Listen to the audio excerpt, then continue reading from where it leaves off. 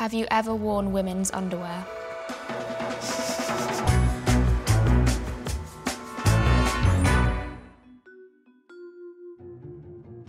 Hello. Don't look at me. You have to look straight. Okay. Are you going to lie to me today? No. Can you not look at the machine, please? okay. This is serious. Stop laughing. Okay. Is your full name Cesar Azpilicueta Tanco? Yes. Do you play with Chelsea Football Club? Yes. Are you feeling the pressure? No. Hmm. Interesting. You seem to be lying. I'm enjoying. I can see you're enjoying yourself. You're not meant to be enjoying yourself. Is very serious. Can you just wipe the sweat off your forehead? I don't have any sweat. Who has the worst dress sense at Chelsea Football Club? N'Golo Kante. Correct. That was the easiest one until now. Have you ever cried after a football game? Yes. I've never cried. Congratulations. Yep. I don't know what it's like to cry. Have you ever worn women's underwear? No.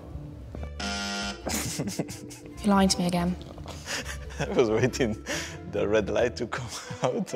So you do wear women's underwear then? But you will have to ask the machine. I said no. I can't no. do that. I can't Okay. speak to the machine. ¿Lleva alguna de ropa interior? Have you ever written anyone a love poem? Yes. To my wife. Correct. It's very nice of you. Thank you. She deserves. Do you ever Google yourself? Yes. Correct. Seem very pleased about that. What have you found out? Pictures, to be fair. Are you scared of spiders? No. Maybe you are. Not, not until now. No? Don't look at me. Hi, this is uh, Gordon George here, Nightman, Chelsea superfan. I've got a question for you. Do you miss John Terry? Yes. Telling the truth. He um, told me the other day that he didn't miss you. Fair play for him.